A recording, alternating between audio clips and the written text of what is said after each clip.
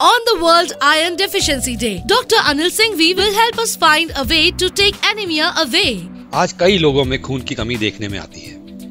ज़्यादातर ऐसे केस में तुरंत खून की बोतल चढ़ा दी जाती है। परंतु महीने भर बाद चढ़ाया हुआ खून फिर खत्म हो जाता है और मरीज़ जहाँ से चला था वहीं वापस पहुँच जाता है। खून की कमी क्यों हुई? इसके कई कारण होते हैं। यहाँ पे यह सही रहता है कि जाँच करके खून की कमी का सही कारण ढूंढा जाए और उसका उपचार किया जाए। हमारे पास कई ऐसे मरीज़ आते हैं जिनका हीमोग्लोबिन सिर्फ़ तीन से चार ग्राम रहता है। हम खून नहीं चढ़ाते। हम उनकी जाँच करके सही दवा और इंजेक्शन देते हैं और बहुत ही जल्दी उनका खुद का खून बनने लगता है और हीमोग्लोबिन बढ़ जाता है। और वो फिर हमेशा के लिए स्वस्थ हो जाते हैं। इसीलिए अगर खून की कमी हो तो तुरंत खून की बोतल न चढ़ाएँ, सही जाँच करके सही इलाज कराएँ।